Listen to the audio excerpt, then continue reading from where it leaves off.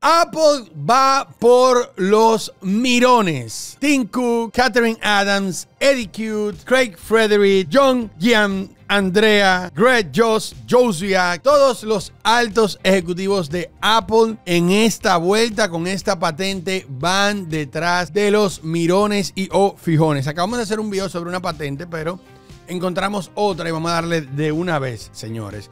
No hay fijones para ti. O sea, como que no looks for you. No podrás mirar.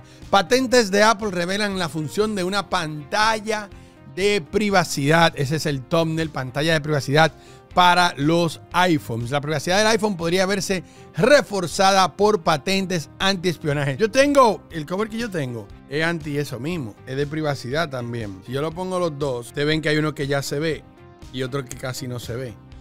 Aunque está claro igual, pero cuando tú lo pones así de frente, ve. Mire, el iPhone ya no se ve. Yo tengo, yo tengo ese, ese protector de pantalla. Y al parecer, Apple va a implementar. Y al parecer, o según las patentes, Apple estaría implementando esta tecnología en sus pantallas. Que tú no tengas que ponerle un protector de pantalla antiprivacidad. Vamos a leer la noticia y al final con nuestra opinión. A principios del año hubo informes de usuarios desafortunados que quedaron bloqueados permanentemente de sus cuentas de Apple en ataques dirigidos al iPhone. Los estafadores se hacían o se harían amigos de los objetivos, simplemente los espiaban.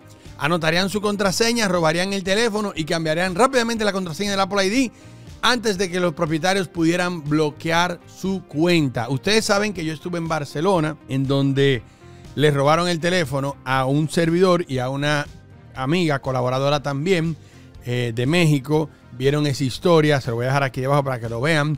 El joven, la persona, el atracador, el ladrón que intentó, antes de robar el teléfono, estaba tratando de pedirle la clave a la chica. Yo creo que lo dije eso también en el video. Él estaba como que no, cuál, qué, clave tú pondrías en el Apple ID. Como que él estaba tratando de, de, que ella le dijera la clave de su Apple ID. Entonces, eso es lo que, lo que vemos aquí. Suerte que él no, no la vio antes, pero bueno. Suerte que Marciano recuperó el teléfono. Vayan a ver ese video. Ponle un, un, cortecito ahí. Yo digo, mmm, momento, ¿dónde están mis AirPods? Mis AirPods están en el hotel.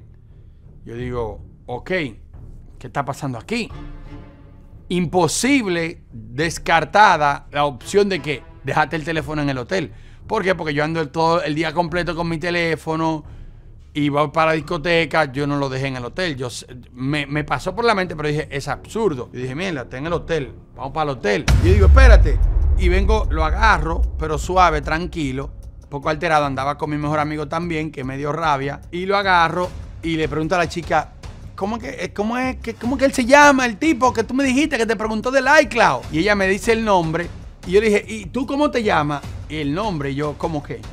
¡Tin, tin, tin, tin, tin, Este es el tipo. ¿Dónde está el teléfono? Lo agarro así, le digo, ¿dónde está mi teléfono? No, que qué teléfono, que yo no me cogió nada, que yo no me cogió nada. Este es un ejemplo extremo de navegación desde el hombro. Ver, verlo desde aquí, como que verlo desde aquí. Donde extraños miran la pantalla de su teléfono en uso. En el extremo más, más inofensivo, un vecino entrometido podría simplemente estar leyendo lo que estás escribiendo en iMessage pero sigue siendo una invasión no deseada de la privacidad. Y parece que Apple está buscando detener a los fisgones, a los mirones, a los ladrones con un par de patentes interesantes. Como descubrió Apple Insider, la primera patente describe una película de privacidad. Película de privacidad es lo que yo tengo aquí puesto. Es un protector de pantalla de privacidad. Ok, vamos a ver esa patente, que la podemos ver aquí directamente con una capa de bloqueo de luz como sustrato de la pantalla del teléfono. El resultado de esto sería que las personas solo puedan ver la luz de la pantalla si la miran directamente, lo que dificulta que quien espía desde fuera vean lo que está sucediendo. Se jodieron la empresa que hacen ese tipo de protector, porque mira, Apple lo va a poner integrado en el teléfono. Eso está súper bueno. El problema con esta idea es que también impediría que el propietario real vea cómodamente la pantalla desde ciertos ángulos. Por ejemplo, yo yo no puedo ver la pantalla desde aquí. Yo tengo que tomar el teléfono y verlo. Como que si tengo el teléfono a un lado, bueno, se ve no, tanto, pero sí se, sí se ve.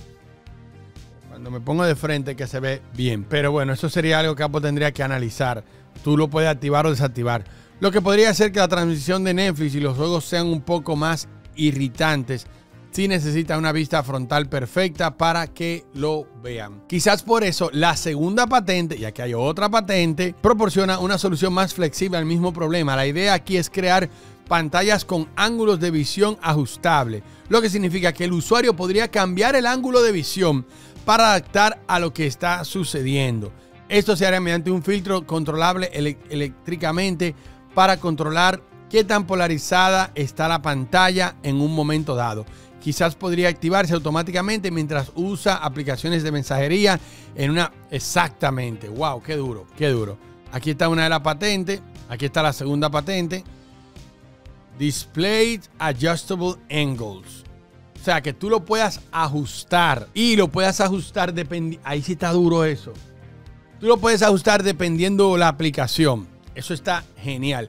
Netflix, que se vea todo, de cualquier ángulo. Mensajes de texto, que no se vea. Cuenta de banco, que no se vea. Conversaciones con tú sabes quién, que no se vean tampoco. Yo creo que esta segunda patente es la que va a romper. Esta es la primera, esta es la primera, Privacy Film Curve Display. O sea, era un film, era un protector que se le iba a poner. Pero esta patente ahora sí que cambia el juego. Esta patente está súper interesante y es de noviembre 21 del 2023. Vale la pena señalar que Apple no menciona específicamente el iPhone en ninguna de sus patentes, por lo que podría estar considerando una implementación en la Mac, iPad, incluso hasta en el Apple Watch.